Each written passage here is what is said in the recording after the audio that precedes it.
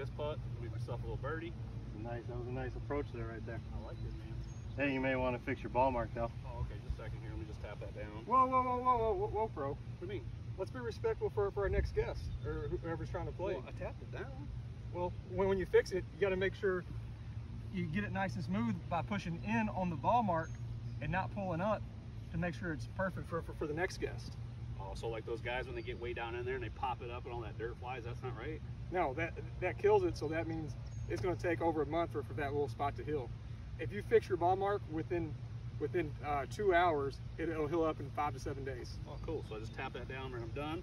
I can get right up there and make my putt.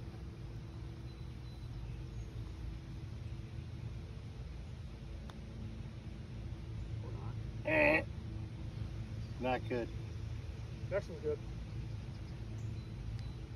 So Steven, what's the right way to, replace, to fix this ball mark? It's easy. So you just work around the outside of outside of the ball mark and push it in. And after you're done pushing it in, tap it down with your foot or putter, and then it's nice and smooth. How long will it take to heal? Uh, five days if you do it directly after. If you don't, it could take up to a month. Okay, perfect. Thank you.